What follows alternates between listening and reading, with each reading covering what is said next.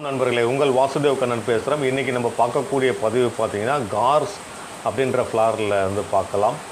கார்ஸில் என்ன சொல்கிறாங்கன்னு கேட்டிங்கன்னா இது native native to Europe Europe countries வந்து சொல்கிறாங்க நேட்டிவ் வந்து யூரோப் கண்ட்ரிஸு. இது வந்து ஸ்டோனி கிரவுண்டு. கல்லெல்லாம் இருக்கக்கூடிய கிரவுண்ட்ஸில் கூட இது வந்து வளரக்கூடியது. சரிங்களா? இது எப்படா பூக்கும் அப்படின்னு கேட்டிங்கன்னா பி- பேசி வழக்கில் சொல்கிறேன் எப்படா பூக்கும் அப்படின்னு நீங்கள் கேட்டிங்கன்னா பிப்ரவரியிலேருந்து ஜூன் மாதத்தில் பூக்கக்கூடியது. பிப்ரவரியிலிருந்து ஜூன் மாதத்திற்குள் பூக்கக்கூடியது.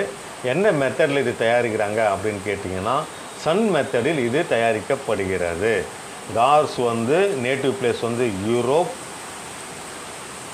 எப்போ அது பூக்கும் கேட்டிங்கன்னா பிப்ரவரியிலேருந்து ஜூன் மாதம் பூக்கும். எப் எப்படி அது தயாரிக்கப்படுகிறது என்றால் சன் மெத்தடில் வந்து அது தயாரிக்கப்படுகிறது. அது வந்து stony ground. Stony S T O N Y stony ground. எனக்கு தெரிஞ்ச இங்கிலீஷில் நான் சொல்லித்தரேன் பட் மீனிங் கரெக்டு கல் இருக்கிற இடத்துலலாம் வந்து கார்ஸ் வந்து பூக்கும். அந்த இடத்துல பூக்குதுன்னா எவ்வளோ வலிமை இருந்தால் தான் அந்த இடத்துல பூக்கும். அதே மாதிரி நம்ம மனசில் நம்பிக்கை இல்லாமல் வலிமை இல்லாமல் இருக்கிறவங்களுக்கு கார்ஸ் வந்து எடுத்துக்கலாம். அதெல்லாம் அடுத்த வீடியோவில் நான் சொல்லித்தரேன். ஹீத்தர்ன்ற ஃப்ளாரை பற்றி நம்ம சந்திக்கலாம். உங்கள் வாசுதேவ கண்ணன்.